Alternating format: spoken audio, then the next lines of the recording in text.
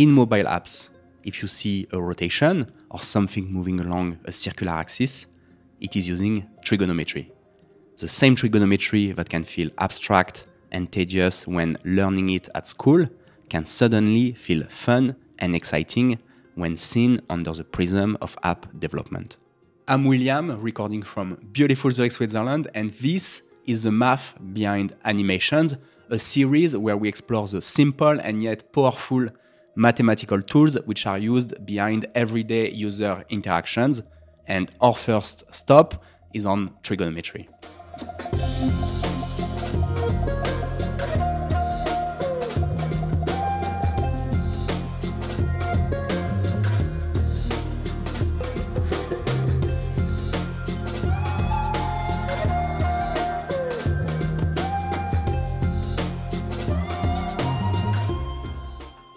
In this video, I would like to briefly go over some definitions and show you three examples where trigonometry can be leveraged to build delightful user experiences.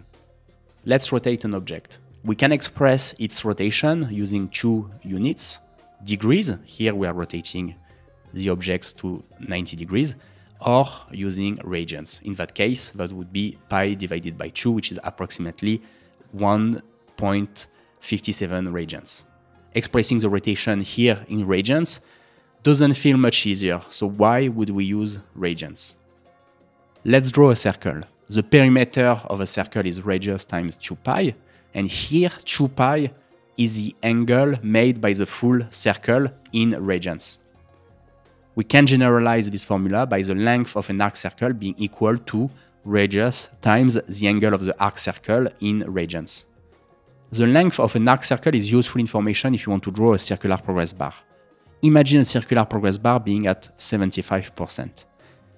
We know that the angle is 3 quarter of 2 pi, 1.5 pi, and more importantly, the length of the arc circle is radius times 1.5 pi.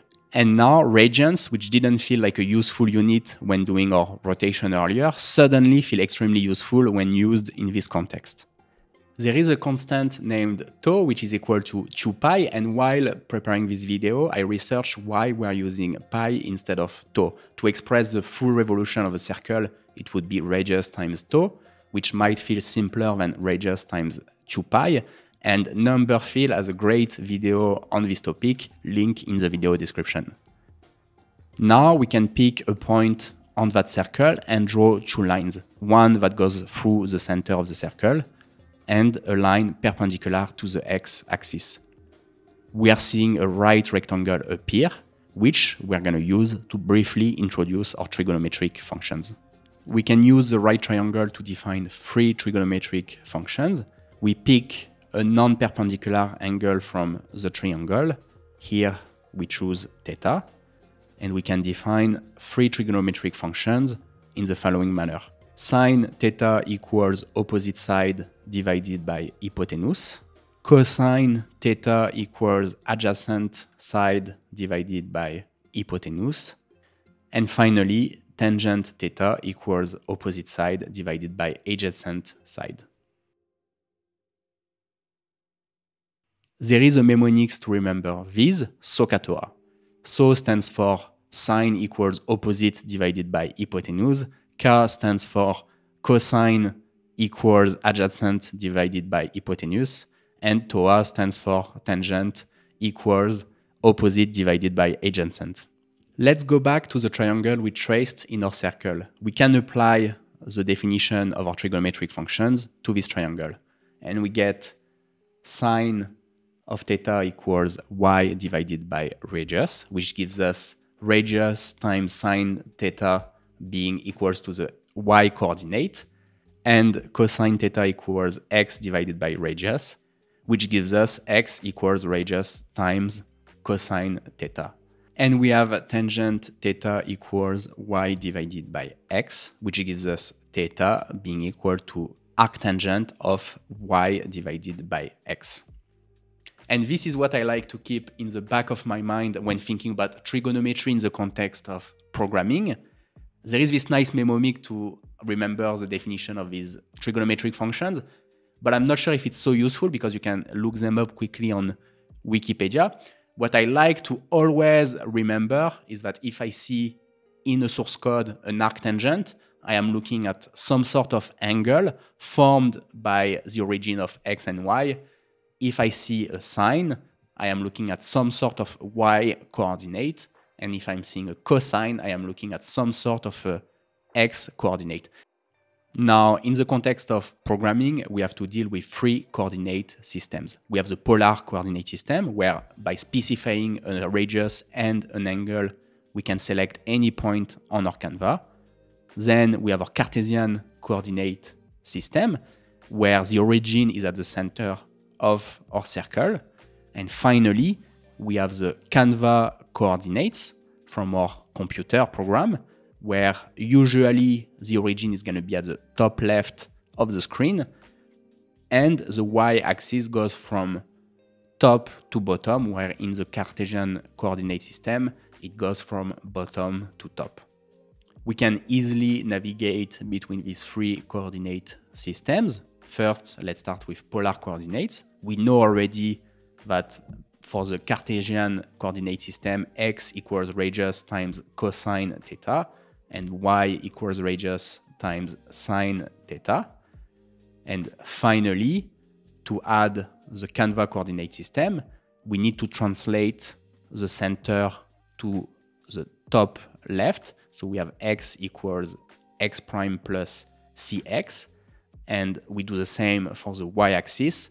But of course, here the axis direction is inverted. So we multiply by minus 1. And that gives us y equals minus 1 times y prime plus cy.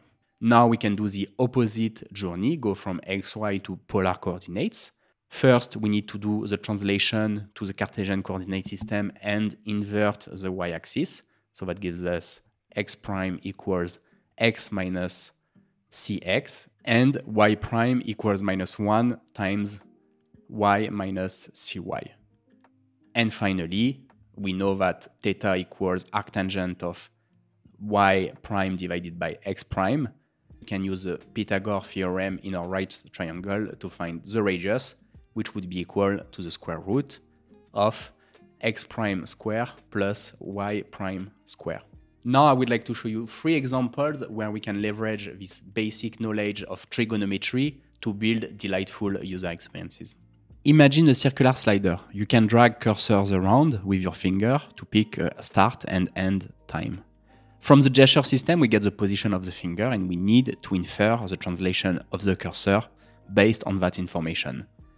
The first thing we're going to do is to convert these x and y coordinates into polar coordinates using the equations we've just seen. From there, we can update the radius of that polar coordinate to be fixed the cursor is always staying along the same circle. Now we simply need to convert these polar coordinates back to coordinate system that our computer program can understand, Canva coordinates. Now, when looking at such an example, there are two small things we need to take into account. First, our trigonometric functions are going to return values not between 0 and 2 pi, but rather between minus pi and pi. Here we have alpha that is less than pi, so there are no issues there. But let's look at 3 quarter of 2 pi.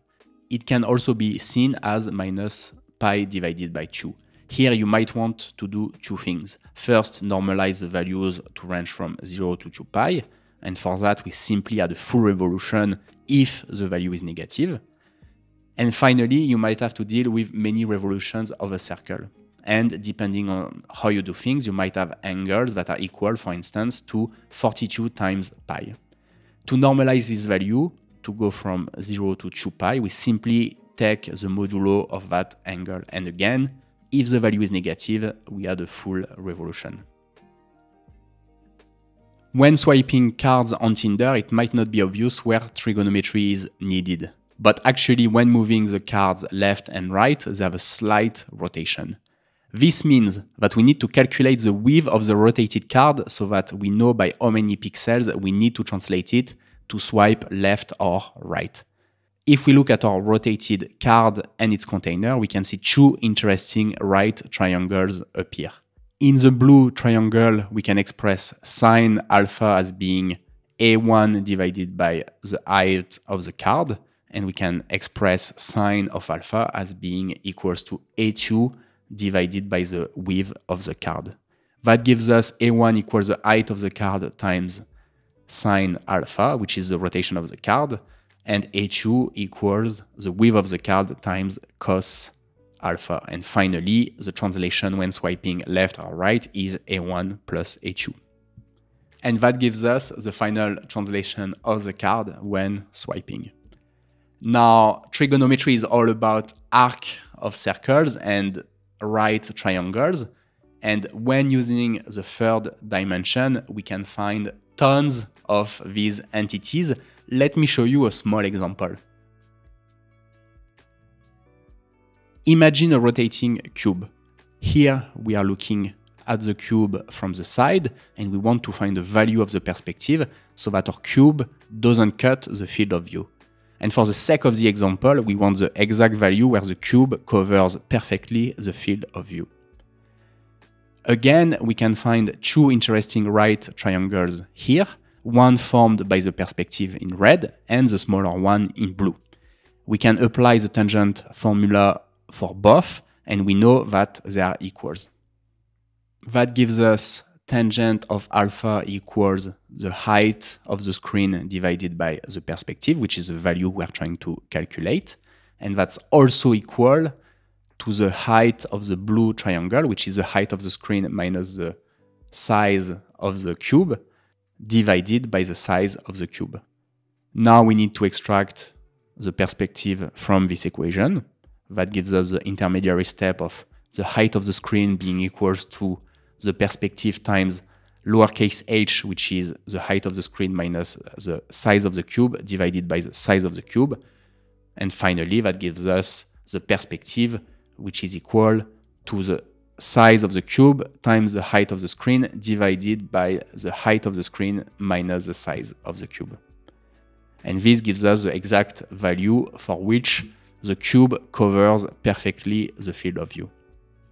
This video is named Beautiful Trigonometry after a video of the same name from Numberphile, which features a really fun animation built using trigonometry. We can rotate a point along a circle and we can display the x and y coordinate for that point. Again, we know that the x coordinate is the cosine and the y coordinate is the sine. Another way to see it is that the y coordinate is the cosine coordinate rotated by 90 degrees.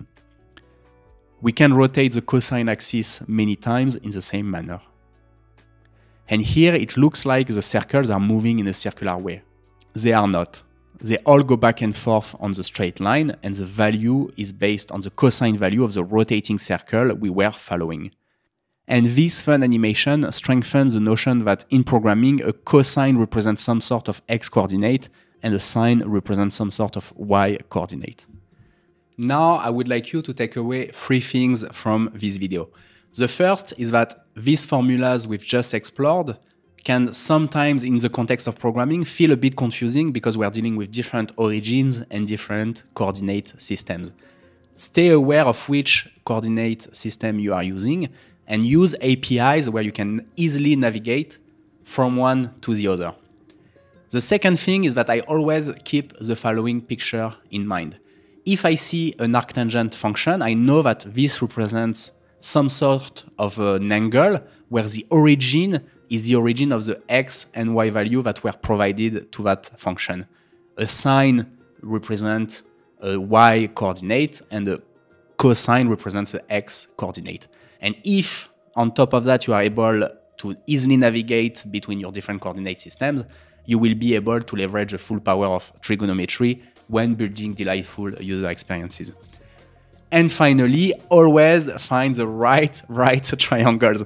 In the Tinder example, for instance, we had to draw the geometry of our user experience, and we had two imaginary right triangles, which were based on the container of the rotated card, which again doesn't really exist. Or in the three-dimensional example, we had to look at the perspective and so look at things which are not visible on screens but it's sometimes worth taking a pen and paper, draw the geometry of the user experience we're trying to build, and find which are the right triangles that will be useful to uh, compute the values we need to compute. So that's it, guys. I hope you enjoyed this video. This is my first time experimenting with this format. Let me know what you think in the comments below. I am looking forward to see you in the next one.